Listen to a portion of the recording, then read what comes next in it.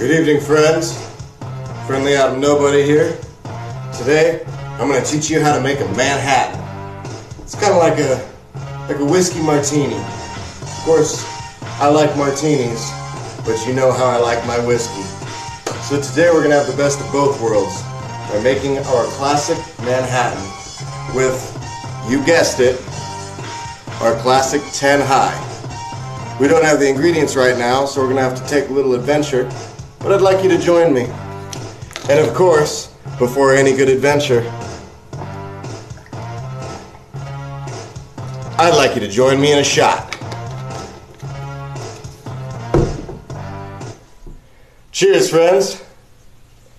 To make a Manhattan,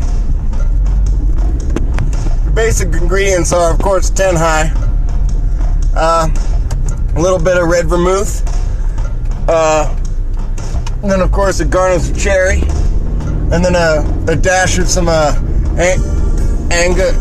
Angostura, Angostura bitters.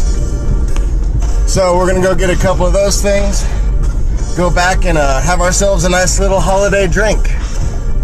I hope. Watch out, man!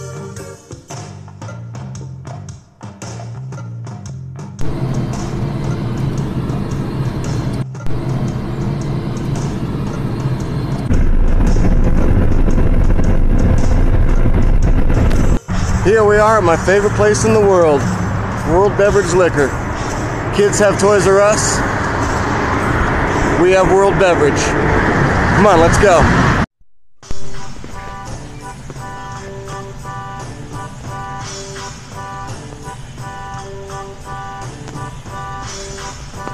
All right, so we're just making a couple drinks today.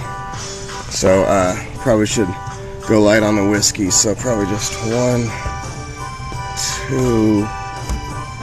I think three seven seven fifty should do it.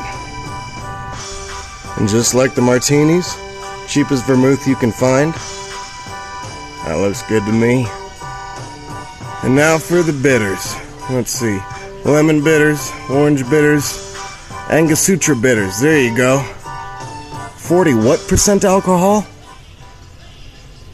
This is gonna be a good drink.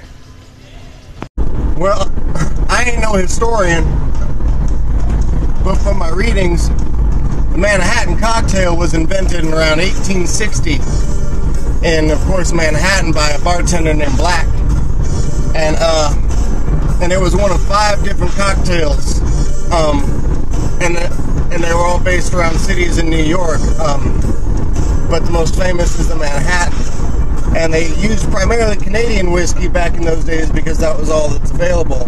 However, today we're going to kick it up a notch and use Ten High.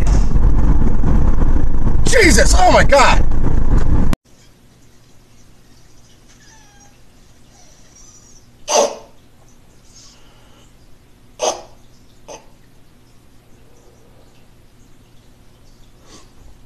Looks like we made it back in one piece. About you guys, but I'm a little thirsty. What do you say we uh, mix a little cocktail? But first, of course, let's take a shot of our Ten High. So I guess I should be upfront about this. I've never made one of these, but I'm sure it'll be fine.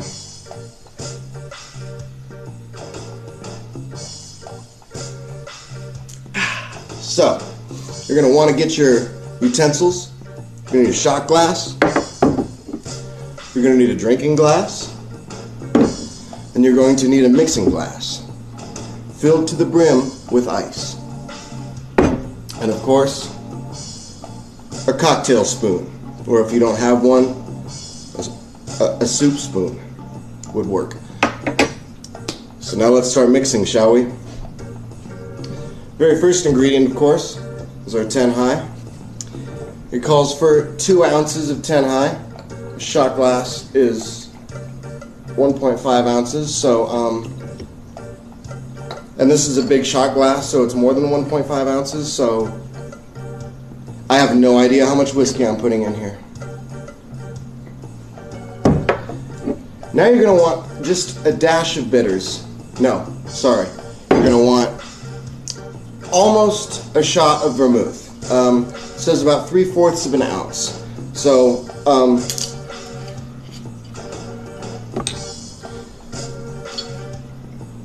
three fourths of an ounce. I think that's three fourths of an ounce. What about you folks? Uh, seems fine to me. Okay. Now, last but not least, just a single dash, single dash of our Angostura bitters that's raging at a whopping 44.7% alcohol for bitters.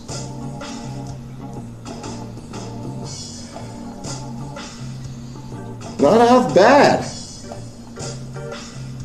Just a little dash of bitters in there, maybe a little more because because it does smell good, I gotta admit.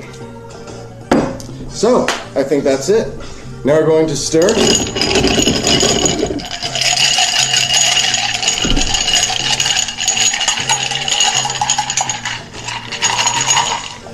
Good martinis and Manhattans are always stirred and not shaken. So if you ever order one at a bar, make sure you don't order it shaken. Stirred. It's just a little more elegant.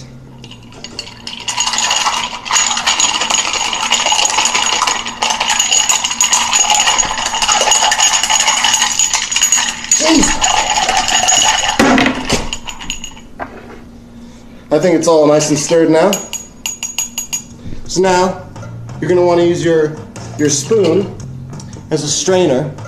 You wanna strain the ice out because classic Manhattans are served neat or bruised, so cold but without ice. So you wanna use a spoon, this little strainer, and just fill that glass up with a nice little